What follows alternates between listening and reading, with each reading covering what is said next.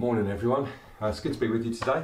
Um, just doing the Bible reading for this morning, um, and we're in the chapter of Hosea 14. Hosea is an Old Testament book.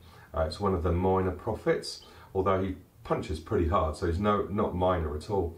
And um, it's been interesting with our Bible readings that lots of people have volunteered to help out with uh, other passages, but when we get to these minor prophets, they're a little bit obscure.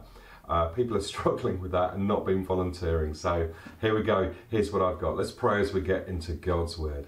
Thank you, Jesus, for your Word. Thank you that you love us so much. Thank you, Holy Spirit, that you want to speak to us this morning through your Word. In Jesus' name. Amen. Let me read Hosea 14 to you.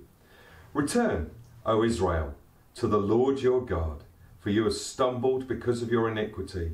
Take with you words and return to the Lord. Say to him, Take away all iniquity, accept what is good, and we will pay with bulls the vows of our lips. Assyria shall not save us. We will not ride on horses, and we will say no more, Our God. To the work of our hands, in you the orphan finds mercy. I will heal their apostasy. I will love them freely, for my anger has turned from them. I will be like dew to Israel. He shall blossom like the lily. He shall take root like the trees of Lebanon. His shoots shall spread out. His beauty will be like the olive, and his fragrance like Lebanon. They shall return and dwell beneath my shadow. They shall flourish with the grain. They shall blossom with the vine. Their fame shall be like the wine of Lebanon. O Ephraim, what have I to do with idols? It is I who answer and look after you. I'm like an evergreen cypress. From me comes your fruit. Whoever is wise, let him understand these things. Whoever is discerning, let him know them. For the ways of the Lord are right, and the upright walk in them, but transgressors stumble in them. Hosea has just spent 13 chapters of doom and gloom prophecy regarding the spiritual state of Old Testament Israel. In chapter 14, we're going to get the vital call to repentance, the call to change their thinking and actions and turn to God. They have stumbled because of sin. Their thoughts and words and deeds have not been good ones. They've sinned and they've sinned badly. The Lord is beckoning them to return to the Lord your God. God is theirs. He's in relationship with them. Having called them and chosen them, Israel had sadly chosen to turn away and needed to return to God.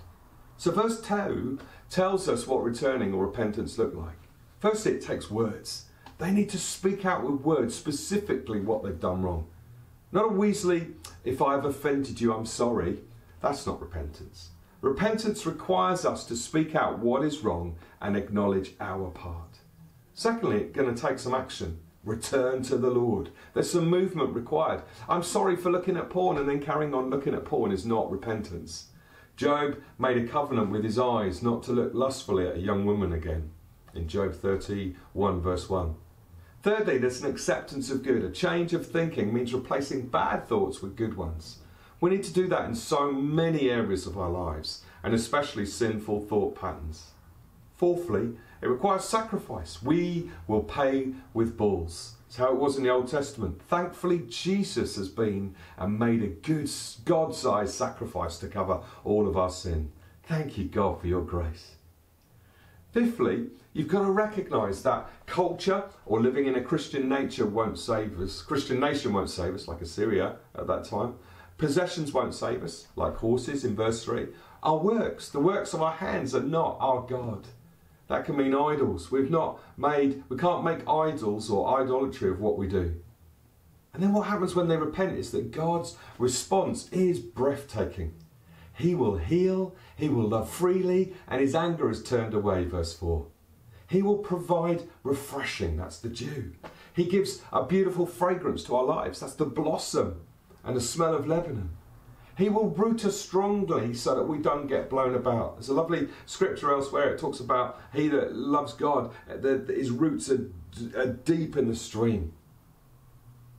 If you're wise and discerning, you will understand and know these things. Verse 9.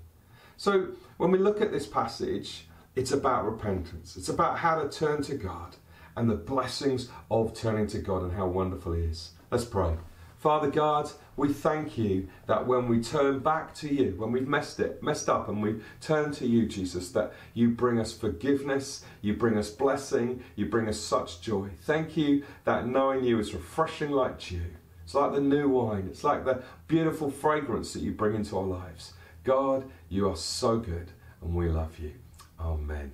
Enjoy your day.